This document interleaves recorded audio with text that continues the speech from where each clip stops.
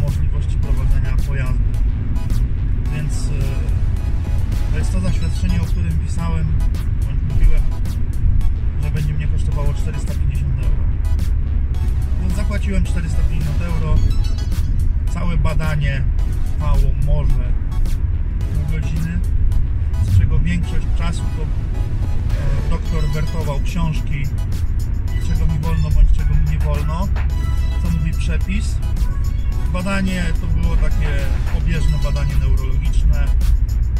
Z poważniejszych rzeczy, które mi zrobił, to było badanie żył tutaj na szyi, z lewej i z prawej stronie USG, czy są drożne, gdyż e, zapchanie tych żył było przyczyną mojego daru. Na badaniu wyszło wszystko ok. No i po rozmowie z nim, po sprawdzeniu tego, powiedział, że według przepisów nie wolno mi jeździć samochodami klasy drugiej, czyli ciężarowymi, gdyż jak to jest takie głupie w języku niemieckim bądź w systemie niemieckim, że są e, trzy klasy samochodów. Klasa pierwsza samochody osobowe, klasa druga samochody ciężarowe, klasa trzecia autobusy.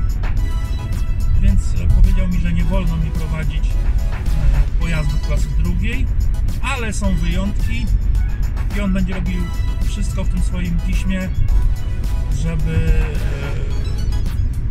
e, napisać mi tak, żebym mógł jeździć. No i po skończonej wizycie e, powiedział mi, że około 14 dni będzie trwało wystawienie tego zaświadczenia. No, zmartwiłem się bardzo. Poprosiłem go, że no, mam zwolnienie do końca miesiąca, czy dałoby radę to przyspieszyć. No i dzisiaj rano, 27 byłem na badaniu, dzisiaj jest 29. Dzisiaj rano o 7 zadzwoniła do mnie że tak pielęgniarka i powiedziała, że zaświadczenie jest gotowe.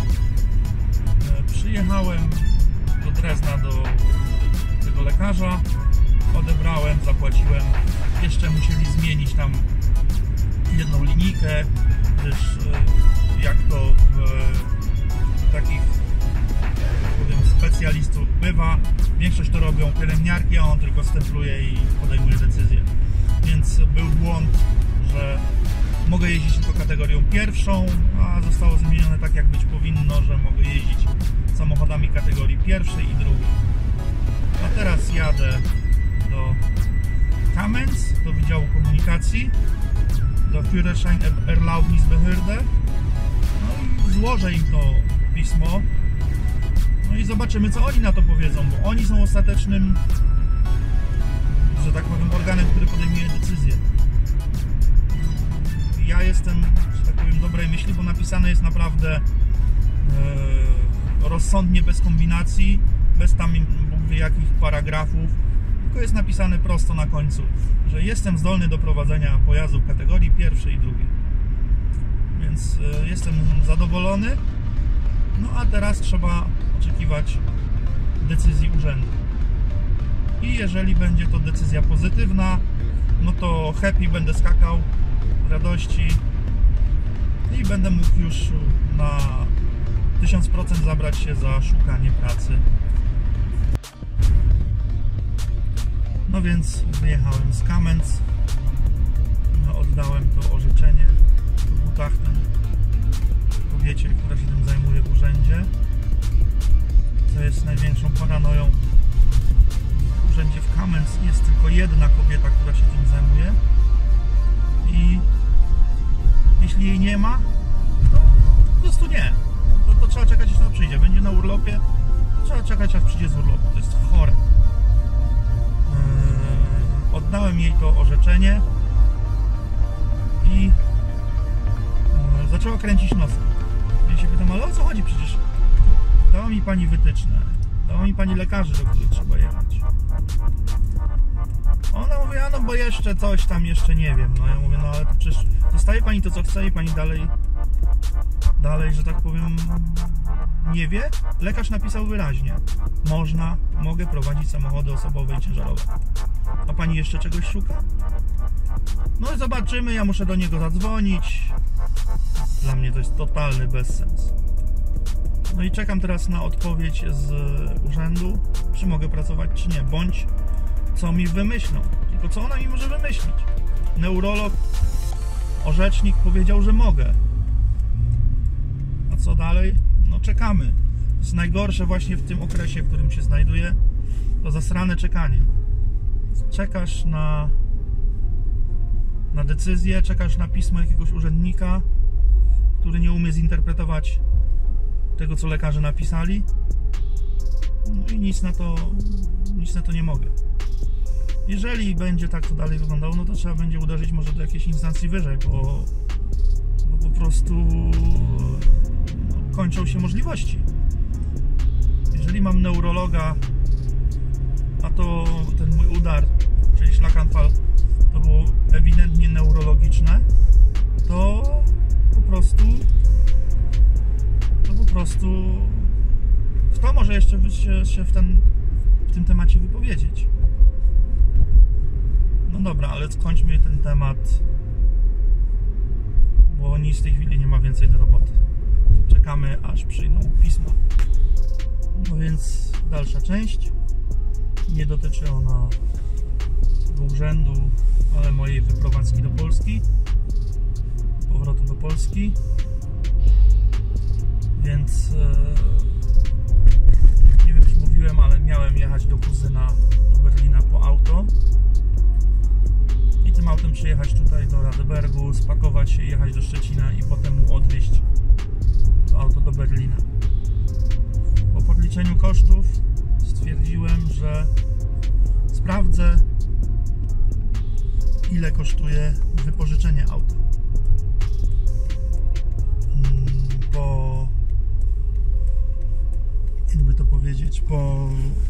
Kontroli tego przedsięwzięcia. Wszedłem na stronę Check24 i sprawdziłem oferty. No i stwierdziłem, że jednak warto, warto wypożyczyć. Gdyż udało mi się znaleźć auto 3,5 tonowe e, Forda Transita ze skrzynią, kofer tutaj to się nazywa, Polsce Izoterma mm, za 60 euro na 3 dni. Będę wypożyczał w poniedziałek rano, a oddawał w środę po południu. Mógłbym oddać czwartek rano, ale to zaraz dojdzie następna opłata. To nie chodzi o to, że tam jakieś się doby kończą, tylko po prostu, że biura są zamknięte.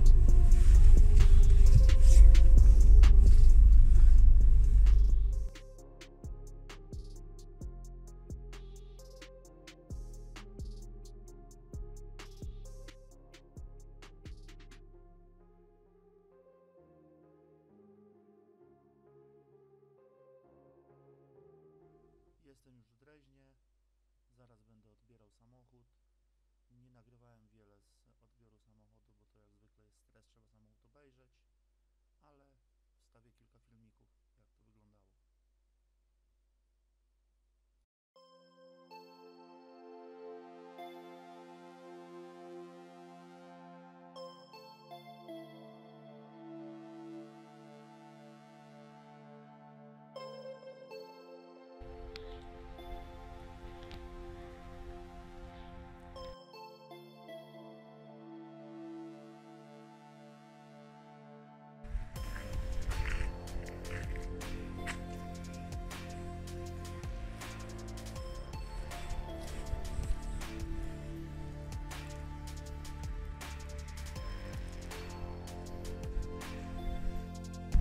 No to jestem załadowany i ruszam do Polski.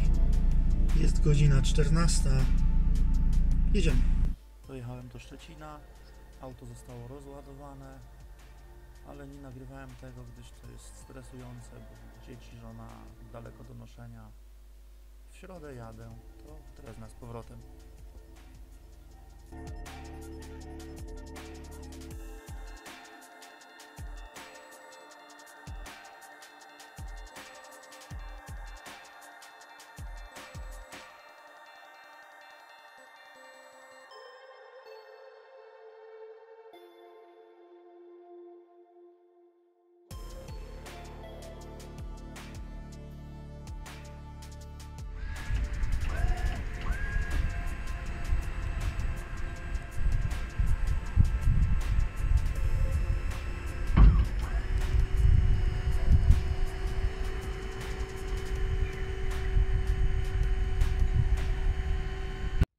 Zobaczymy, czy oni to zauważą, bądź zapisali. Ale tutaj nie zauważyłem tego. Ja tego nie uszkodziłem.